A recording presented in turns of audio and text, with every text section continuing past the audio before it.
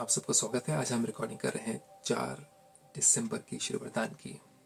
आज शाम को हमारा बहुत ही सुंदर सेशन हुआ। इसके पहले मैं वरदान में जाऊँ, हम चर्चा करना चाह रहे थे इसकी कि आज सेशन हुआ था एंजाइटी चिंताओं से कैसे मुक्त हों, स्व को स्वीकार करने के बाद। तो जब तक स्व स्वीकृति नहीं आती है कि हम अपने आप को जो मैं जो हूँ, जैसा हूँ, बहुत अच्छा हूँ, जब तक अपने आप को ऐसा मानते नहीं हैं और अपने अंदर की फॉल्ट्स को कम नहीं करते जाते हैं तब तक हमारे अंदर एंजाइटी रहेगी एंजाइटी मतलब हुआ क्या? बहुत ज़्यादा सोचना। मतलब कि हमारे अंदर बहुत ज़्यादा नेगेटिव बिलीफ सिस्टम्स हैं, जो कि चैलेंज किए जाते हैं हमेशा, और हम स्थिर नहीं रह पाते हैं। तो आज ये सेशन हुआ था, और ये सेशन की रिकॉर्डिंग आपको या तो फेसबुक अकाउंट पे या इसी यूट्यूब में भी अपलोड की जाएगी। आप उसको देख सकते हैं। और अब चलते हैं हमारे ब्यूटीफुल वरदान की तरफ़, परमात्मा के। परमात्मा आज लाइट ज्ञान को लाइट कहते हैं। कहते हैं, अगर देखा भी जाए तो बहुत सारे स्कूल्स के अगर आप देखें तो कई स्कूल्स में नीचे उसके एम्बलम में दिया होता है कि ज्ञान ही प्रकाश है। लेकिन कौन सा ज्ञान? क्या physics chemistry biology history geography क्या है? आपको हेल्प कर सकता है आपके रिलेशनशिप्स में? नहीं। आपको सबसे इम्पोर्टेंट ज्ञान जो चाहिए, वो है सही और गलत का। वो चाहिए पवित्र, अपवित्र का। और क्या सोच सही है, क्या सोच गलत है क्या एक्शन सही है, क्या एक्शन गलत है? ये सब कुछ आता है आध्यात्मिक ज्ञान के द्वारा। आध्यात्म, आत्मा का अध्ययन करना कि मैं आत्मा क्या सोचूं, क्या बोलूँ, क्या करूँ ताकि मेरे कर्म ठीक हों और मुझे वहाँ से कर्मों का फल ठीक मिले। हाँ ये चीज़ें आपके फाइनेंशियल सिचुएशंस में भी यूज़ आती हैं कि आप किस तरीके से लेन देन करते हैं। आपके रिलेशनशिप में भी यूज़ आती हैं कि आप किस तरीके से लेन देन करते हैं। वार्तालाप आपस में और सेहत में भी आती है कि आप क्या खाते हैं, कितना खाते हैं और कितना खाना चाहिए वो चीज़ भी इम्पोर्टेंट है। लेकिन सबसे पहले इम्पोर्टेंट ये है कि क्या मेरे पास में वो सही विवेक है विजडम है, कि मैं अपने आप को कंट्रोल कर पाऊँ? जो मुझे नहीं बोलना तो नहीं बोलना है। नहीं करना तो नहीं करना है और नहीं गलत सोचना है तो नहीं गलत सोचना है। ये चीज़ के बारे में परमात्मा कहते हैं, इस ज्ञान को लाइट कहते हैं। तो परमात्मा कहते हैं, ज्ञान को लाइट और माइट के रूप में। ज्ञान को लाइट और माइट के रूप से समय पर कार्य में लगाने वाले ज्ञानी तो आत्मा भवा। समय पर कार्य में लगाने वाले। यानी कि समय निकल गया, उसके बाद आप सोचो, ये गलती होगी। हाँ स्टार्टिंग में एक्सपीरियंस लेने के लिए तो हो सकती है गलतियाँ हो, फिर आपको समझ आया कि नहीं सेकंड टाइम अगर सेम सिचुएशन आएगी तो मैं सेम चीज़ नहीं करूँगा, नहीं बोलूँगा, नहीं सोचूँगा।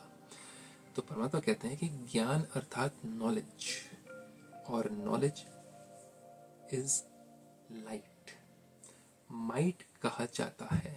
लाइट और माइट माइट मतलब ताकत। तो किसी के अंदर ताकत होती है कि वो निर्णय ले लेता है फटाफट, किसी के अंदर ताकत नहीं होती है, वो कंफ्यूजन में रहता है, क्या होगा, क्या नहीं होगा।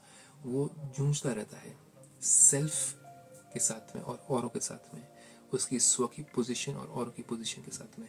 क्या ठीक रहेगा, क्या ठीक नहीं रहेगा, क्या बोलना सही है, क्या नहीं सही कहाँ मैं ऐसे बोला तो कहीं मेरी इज़्ज़त ना चले जाए, कहीं मैंने ऐसे बोला तो मेरा मेरे को वो टेकन फॉर ग्रांटेड ना हो।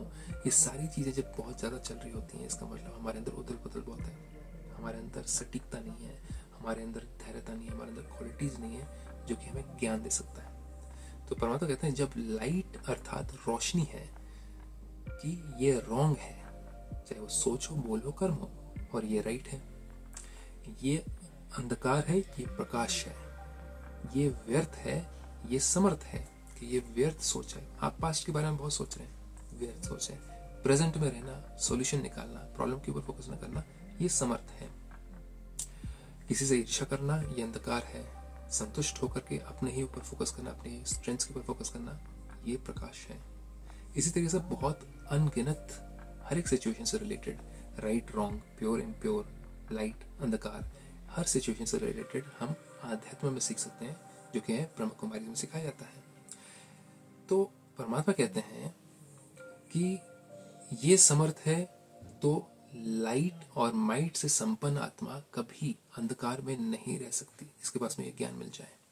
अगर अंधकार समझते हुए भी अंधकार में है, कि हाँ भैया, ये जो करा मैंने, ये गलत है, लेकिन क्या करूँ? मेरी आदत ही ऐसी है। मेरे संस्कार ही ऐसे हैं, मेरे मुझसे होता नहीं है। इसका मतलब हमारा परमात्मा से कनेक्शन ठीक नहीं है, जो कि हमें शक्ति देते हैं राइट को करने का। जी हाँ परमात्मा ज्ञान ही देते हैं, परमात्मा ज्ञान भी देते हैं और शक्ति भी देते हैं कि हम सही रास्ते पे चल पाए। जब सिचुएशन आती है राइट और रॉन्ग चूज़ करने में तो हमारे पास में इतनी ताकत हो कि हम राइट को चूज़ कर पाए। ये मिलता है मेडिटेशन से। सिर्फ़ ज्ञान से नहीं होता है। फिर परमात्मा है, अगर अंधकार समझते हुए भी अंधकार में है तो ये उसे ज्ञानी व समझदार नहीं कहेंगे। ज्ञानी तो आत्मा कभी भी रॉन्ग कर्म के, संकल्पों के व स्वभाव संस्कार के वशीभूत नहीं हो सकती। तो आत्मा कभी भी रॉन्ग कर्मों के कर लिया करना ही पड़ा क्या कर सकते हैं? संकल्पों के गलत सोच और के बारे में गलत सोचते रहो सोचते रहो और फिर सोचो कि सब कुछ ठीक हो जाएगा। नहीं नहीं होता।